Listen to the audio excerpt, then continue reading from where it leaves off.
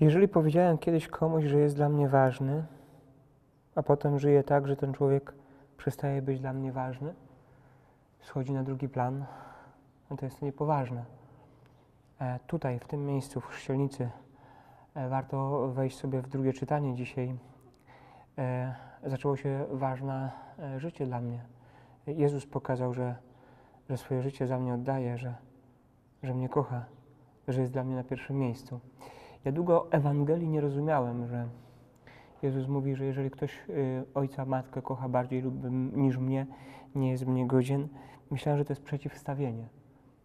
No ale to trochę życia trzeba przeżyć, żeby to inaczej załapać. Nie wiem, czy zrozumieć, ale żeby to inaczej załapać, e, dzięki Jezusowi ja mogę być lepszym ojcem. Dzięki Jezusowi ja mogę być lepszym dzieckiem. Em, w, odkryłem to w spowiedzi, w konfesjonale, że ktoś przychodzi i, mm, i nie spowiada się dla siebie. Powiedzmy to z perspektywy mężczyzny.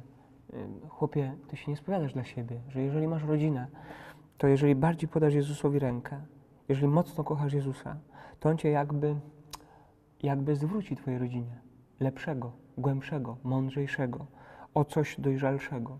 Ty się nie spowiadasz dla siebie. Jeżeli ty fajnie nawiążesz relację z Panem Bogiem, cokolwiek to znaczy, to potem Twoim bliskim, uwaga, nie Tobie z nimi, ale Twoim bliskim z Tobą będzie lepiej. Jeżeli poprzestawiasz źle hierarchię, no to potem ani z Panem Bogiem, ani z ludźmi. Ty jesteś na pierwszym miejscu. Ja, mnie się należy, skaczcie wokół mnie, bo ja potrzebuję Pan i Władca. W niejednej rodzinie tak jest. Mówię to nadal z perspektywy mężczyzny. Ale jeżeli ja odkryję Pana Boga, to potem moim bliskim ze mną będzie lepiej.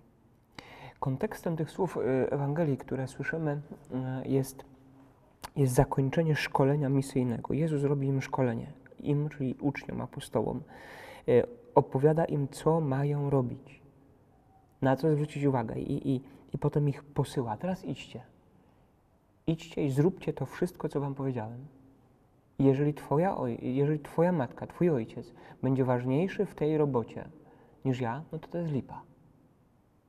Po to tu do mnie przyszedłeś, żeby, żeby teraz robić to, co ci mówię.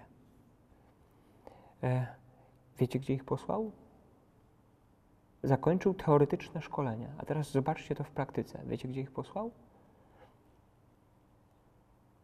Historycznie, geograficznie to się wszystko dzieje w małej krainie. To są obrzeża, wybrzeże jeziora Genezaret. On tych swoich uczniów wysłał do ich rodzinnych miejscowości. A teraz, napełnieni moją teorią, idźcie do swoich domów, do ojca, do matki i pokażcie, przeżyjcie sobie na własnej skórze, że to, co powiedziałem, to nie teoria, to praktyka.